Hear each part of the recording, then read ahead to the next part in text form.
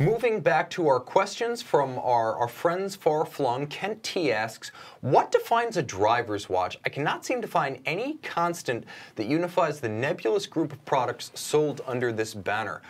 Whoa, okay. In response, I would have to say that the only unifying fact, by the way, remember the Oreca Dodge Vipers that won Le Mans three years in a row? That thing's awesome. Heroes of my childhood.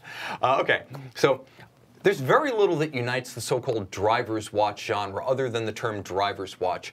I think that those terms tend to be used interchangeably, sports watch and professional watch. Driver's watch, I'm not sure it has a natural home in that category. So let's ask, okay, diving watches. They're defined by the ISO 6425. The ISO 6425 lives online, and you can actually go visit it. And I think we even got a picture of a screenshot of the ISO 6425. Isn't it great when we all agree on something?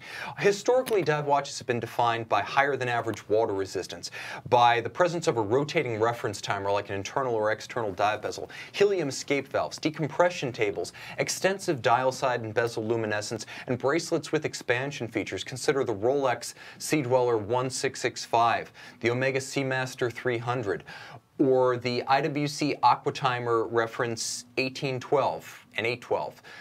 Just consider these historic timepieces that were all very distinctly dive watches, even before the ISO existed.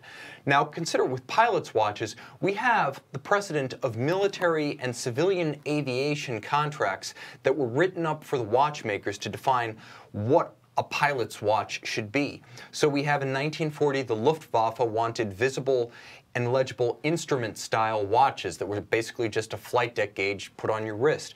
In 1954, Pan Am asked Rolex for GMT functionality so you could calculate a second time zone on arrival. The same year, the American AOPA, Aircraft Owners and Pilots Association, asked for calculator bezels from Breitling, and they got it on the Navitimer.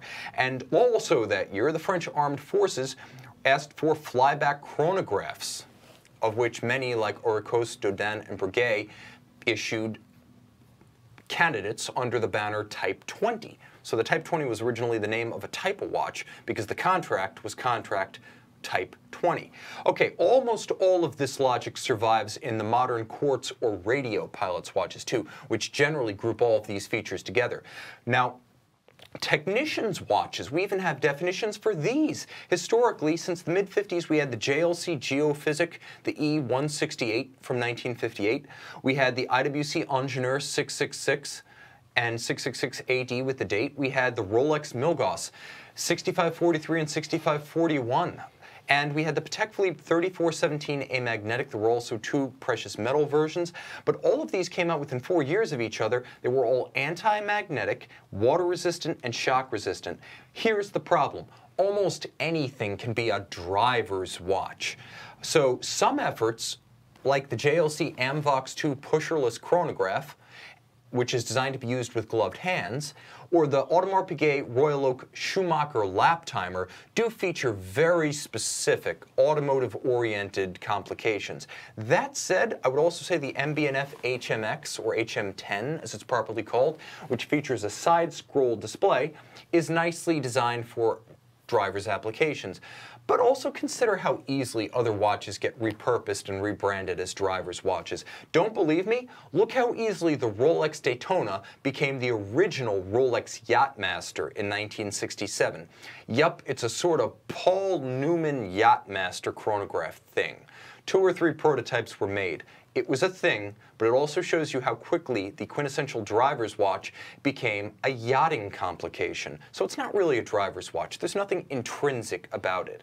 I would also say too often, you see brands simply slap a race car driver's name on an existing chronograph or product and transform it into a driver's watch. Consider the Richard Mille RM11 Felipe Massa. Okay, now it's a driver's watch, but uh, the exact same watch with a different color and a different name. The RM11, and this is the Orange Storm in White Ghost, it's the same thing. There's nothing inherently drivers about the watch other than the name, which was the name of a driver. And then finally, you can apply some name and auto-themed imagery to an existing model, but the functionality is the same. Consider the Audemars Piguet Royal Oak Offshore Gentleman Driver. Which is a driver's watch only in the sense that the volcano is a survival watch. And, you know, I, I don't know what to say other than when the chronograph hits 12, what, you die with the volcano? Your guess is as good as mine. The bottom line is, you could also have a shotgun marriage of two marketable names that target car owners in cynical fashion. And I like the Panerai Ferrari FER 15 perpetual calendar, but again, your leap year cycle is not necessary when you're in the middle of a trip down the Mulsanne Straight just before the first chicane at Le Mans. So again, I don't think there is such a thing as a driver's watch genre. I also think the historical precedent is spurious. I don't really think this has been a class of watch historically like the diver, pilot, and technician. Consider the Patek Philippe 524. I don't believe there's anything other than the weird shape of the case that inspires people to call it a driver's watch. The Girard-Perregaux casquette of the 1970s was more a strange digitally themed timepiece when that was cool than a driver's focused watch.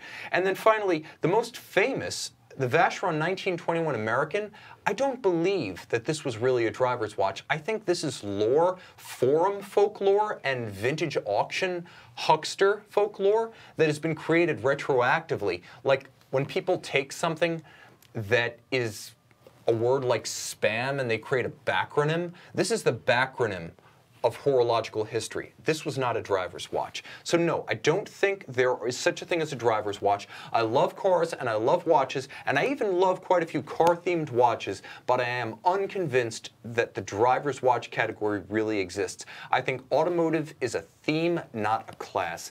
Jason, agree, disagree? Yeah, no, I agree wholly. I mean, besides besides maybe throwing a strap that has some perforated leather on it to resemble some driving gloves. I mean, you really, when you think about the, you know, uh, aspiration to a complication, to a feature, so a dive nobody, not a lot of people dive. Not a lot of people are pilots. Not everybody drives to work, right? So every watch becomes a driving watch.